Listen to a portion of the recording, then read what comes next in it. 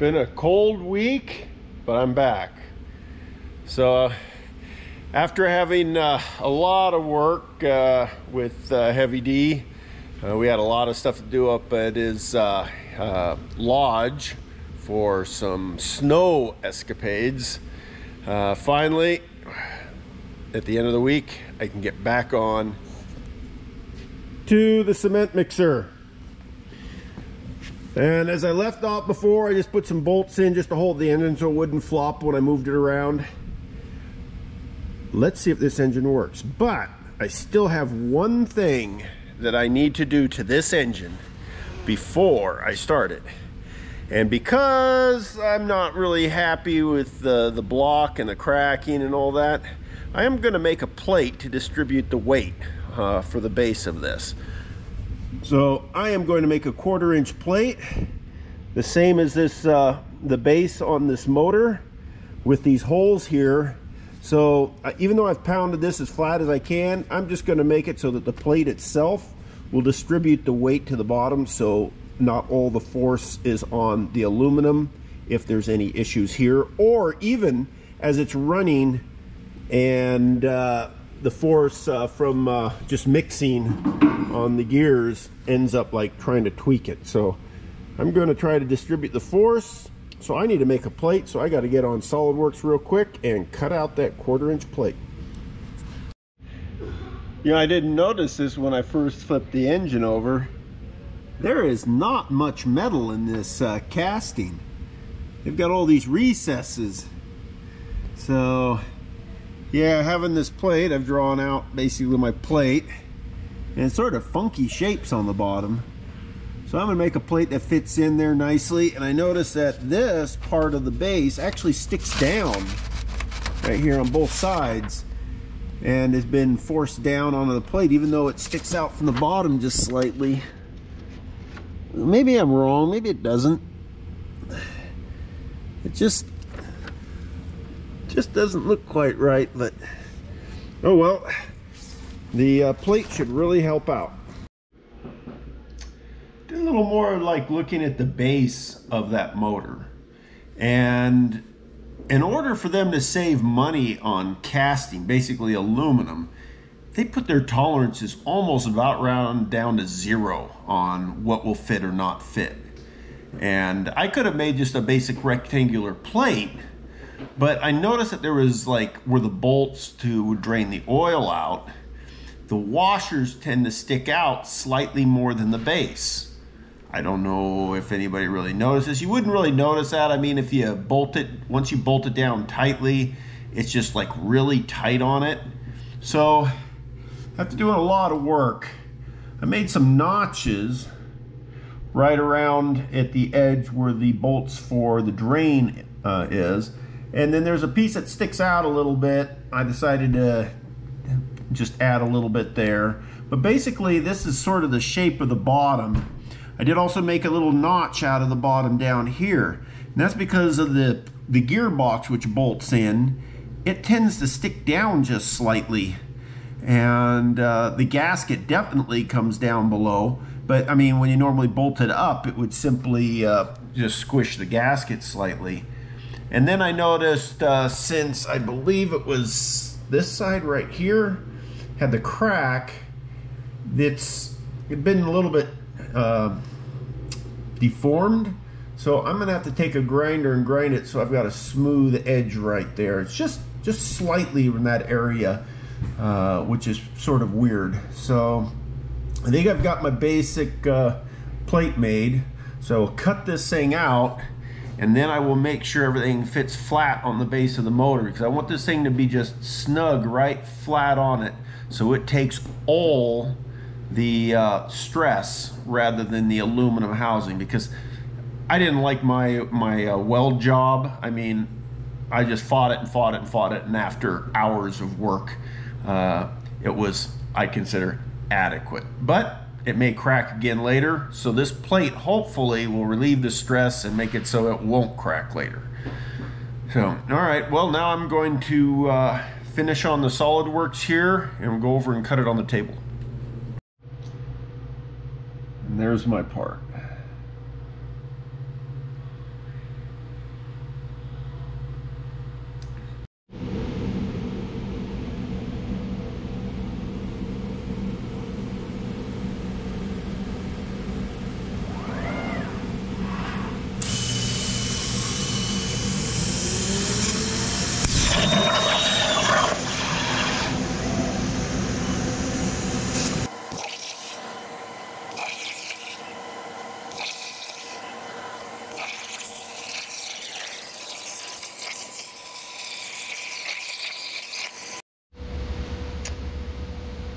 I got my plate all made, fits up just perfectly. Got me some uh, very thin rubber washers to place between the base and this plate. And I will mount it on. And then once we get it mounted on, then we can try to see if the engine works. I haven't tested it. I may be doing all this and it doesn't run. Because there's a lot of things that could have gone wrong. Like one, when I was removing the, uh, the, the gearbox section of this, some of the gears in the engine compartment slipped out a little bit. Thought I did the best to put them back in to the correct marks, but I could be wrong. Or the engine could have been bad to begin with, or a lot of things. Even like the uh, oil pressure uh, sensor could be damaged. Uh, now that I could probably bypass, but anyways, uh, let me get uh, this plate and this motor put on and then finally we can try to see if it'll run. We're close to uh, the big test. Got it filled with the oil. Got a little bit of gas in it, not too much. Checking, not leaking fuel. So my switch must be working there. And I think that's the choke right there. This is the throttle. Everything seems to be here. I got my push button for off there.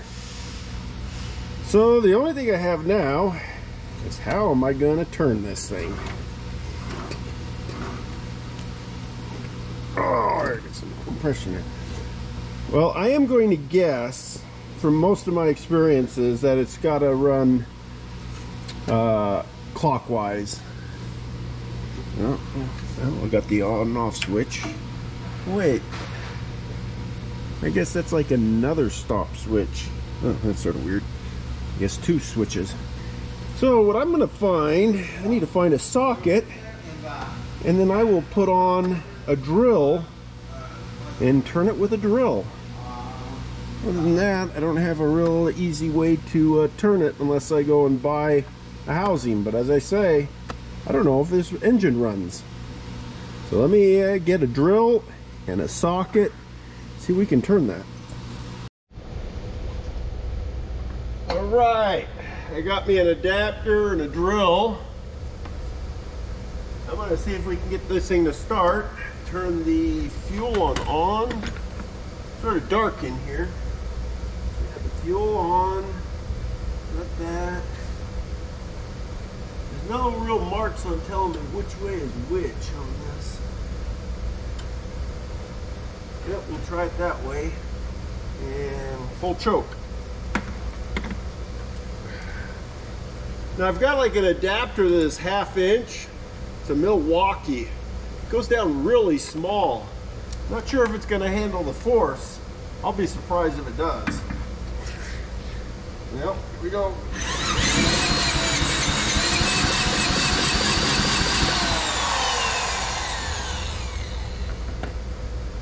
I didn't seem to get anything.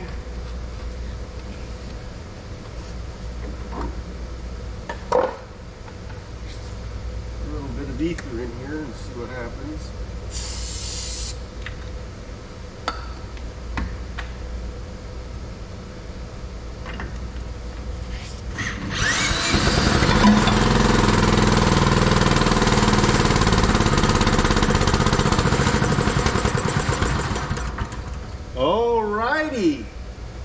So it looks like maybe our issue, uh, that's sort of funny, the chuck came out. That is a good sign. We've got it running. So that means at least I don't have all my uh, sprockets in the wrong place, but it just doesn't seem like it's getting any fuel. Let's try this again.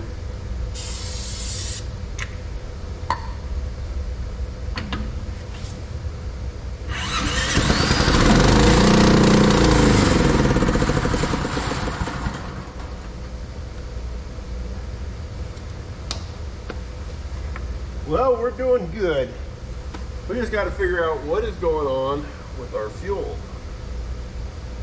So that's back down to the carburetor issue.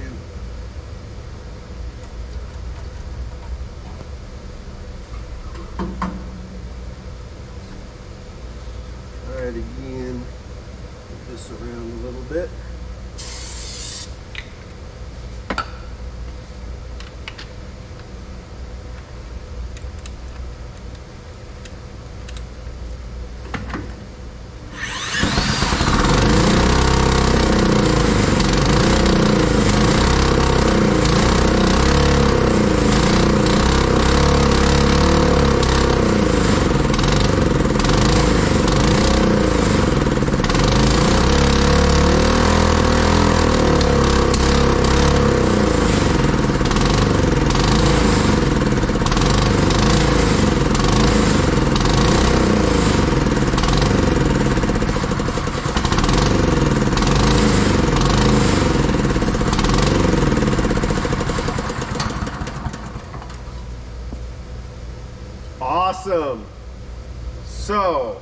Still have a problem, but it looks like the base engine is good. So we just need to figure out why I'm not getting any fuel. So I have to take this off, but I've got to make a run and I'll be right back. I'm back and I've taken off all these parts put a couple of nuts on there to hold the carburetor so I can see everything that's going on. I know I have fuel here because I opened this up and fuel dripped out. And I know I've got fuel in the float bowl now. So I don't know if maybe just since I've been gone for a couple hours, the fuel's finally like worked its way in or not. But I think we are set to try it again.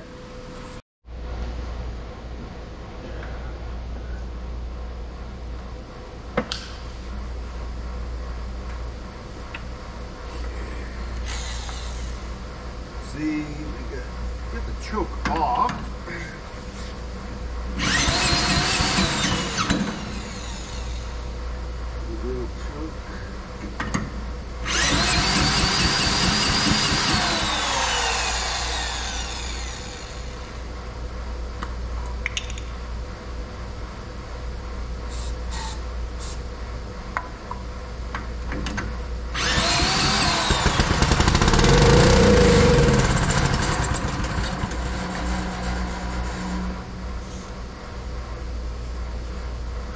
Well, this sort of means that uh, there's still some issue with my carburetor. Probably one of the jets or something is uh, blocked. I've got... That's closed. There. This again.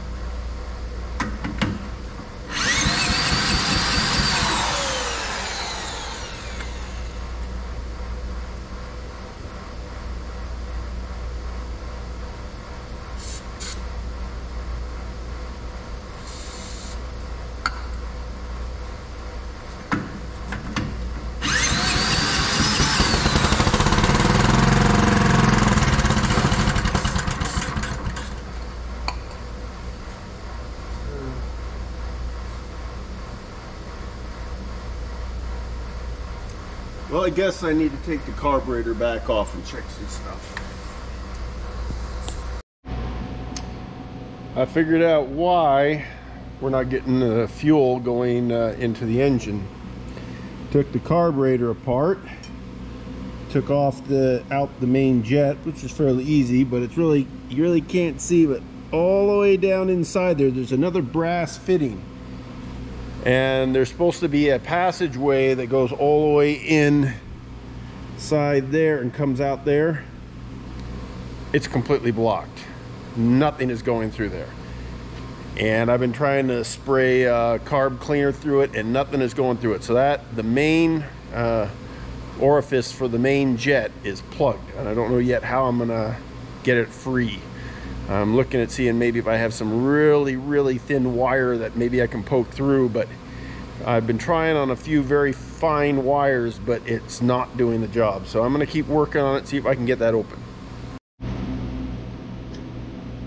Well, I've uh, managed to uh, work through the blockage with a tip cleaner set on the smallest wire for an oxyacetylene torch tips and I was able to finally get that port cleared. So now I'm just going to use the rest of the uh, carb cleaner and uh, keep spraying through that uh, hole and uh, checking to see if there's anything else that might be plugged and then put it back together.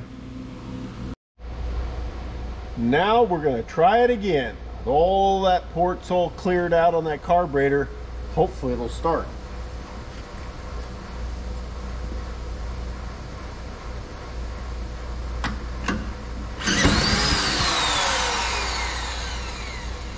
sounded like it wanted to start there for a second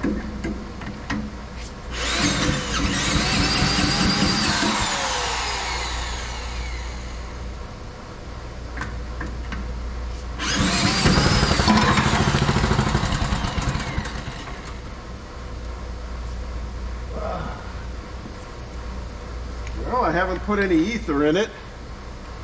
This end keeps coming off. Try again.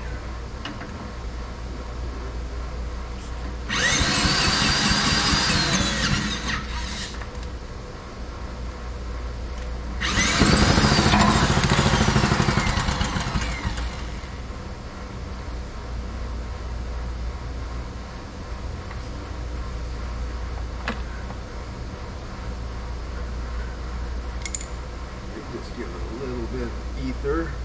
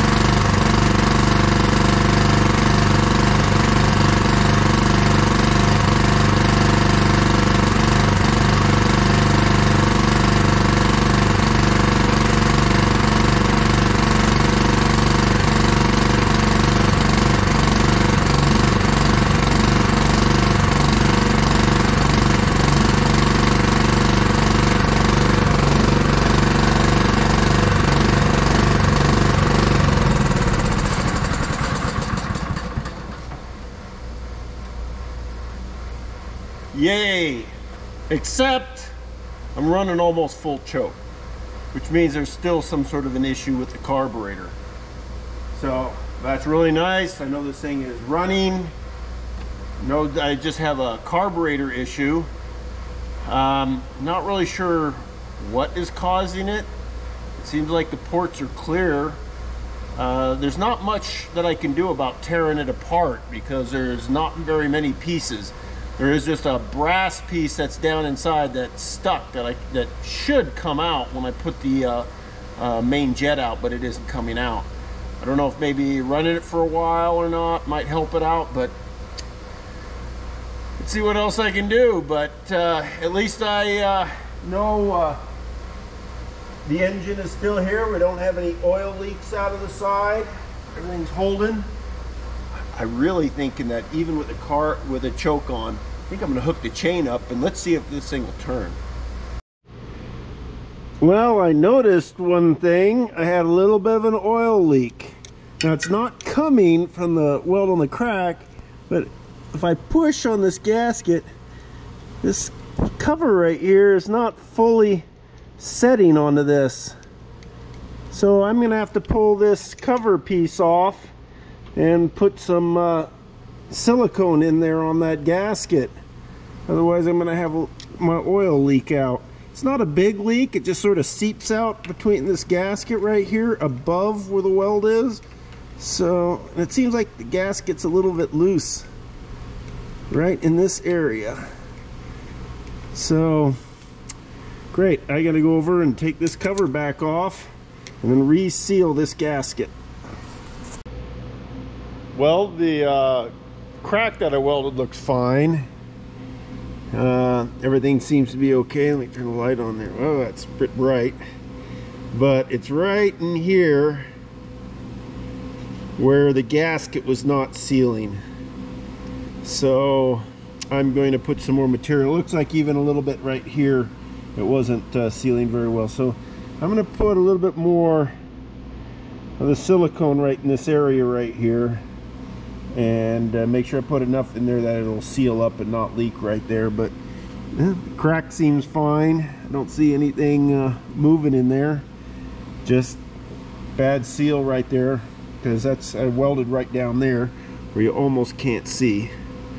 So all right I'm going to uh, some more of this and hopefully get this thing sealed up so it won't leak.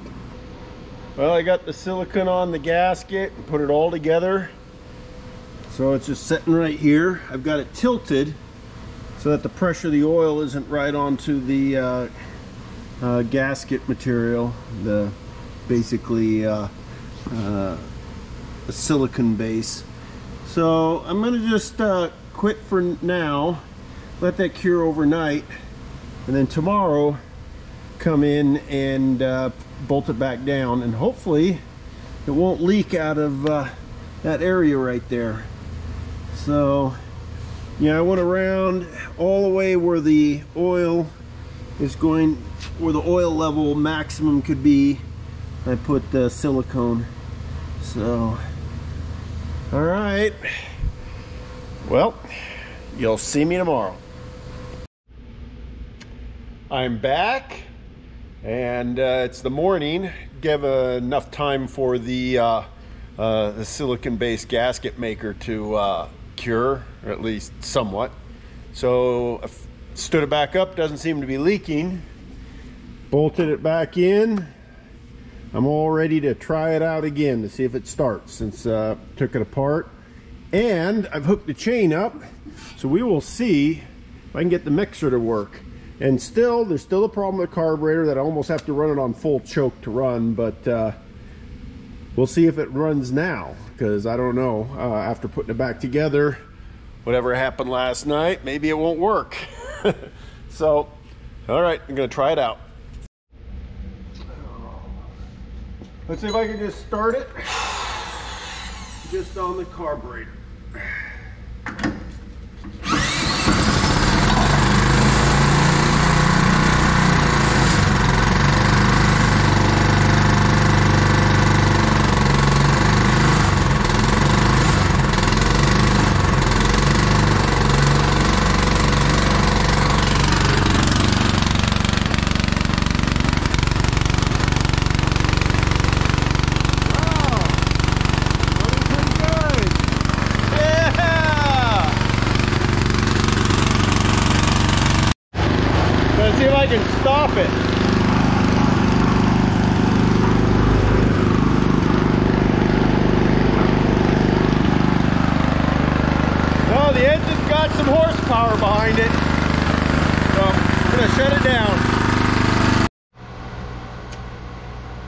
I've put it all back together. And I put some uh, Lucas uh, fuel treatment stuff in my tank here uh, to run through it uh, to hopefully maybe clean the carburetor. And I don't know if it was that or just putting all this stuff back on. But now it run, it will run with the choke fully off. Little rough, so I have to give it a little bit of choke. I think if I just keep running uh, cleaner through it and everything, I think it's going to be just fine. So I've got it put all together. I've got to chip out just a little more concrete on that center. I want to get it all that right off. And then I've got some uh, little repairs to do here. So I am going to pull this over down there where the welder is. So I'm just going to fix up a bunch of little stuff. And I still got some stuff on my plate for making uh, a skid so a forklift can grab it and some ideas. So I'm not going to get to that in this video, but I'm just going to finish up getting a bunch of this little stuff uh, fixed and all running. And uh, then we'll come to a conclusion. But let's see how we go on just fixing up the little stuff.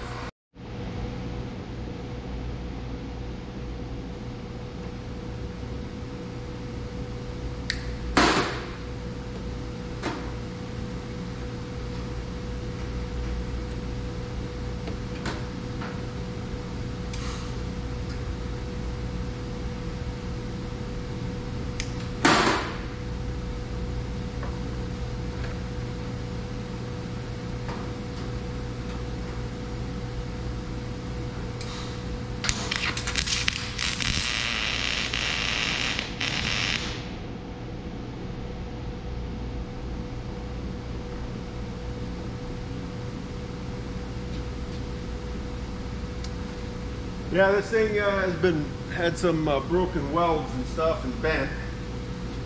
Got uh, sort of this side sort of taken care of. Got this. Things looking good. Or welding. Well, after doing a lot of the sheet metal repairs on the uh, uh, cover of the uh, cement mixer, this is what it looks like. I was able to get some uh, Rust-Oleum uh, uh, Royal Blue and it matches up pretty close. I sort of ran out of it, uh, but for the top, and then I went back to the store and they were out. So it actually is pretty good. The engine's running great.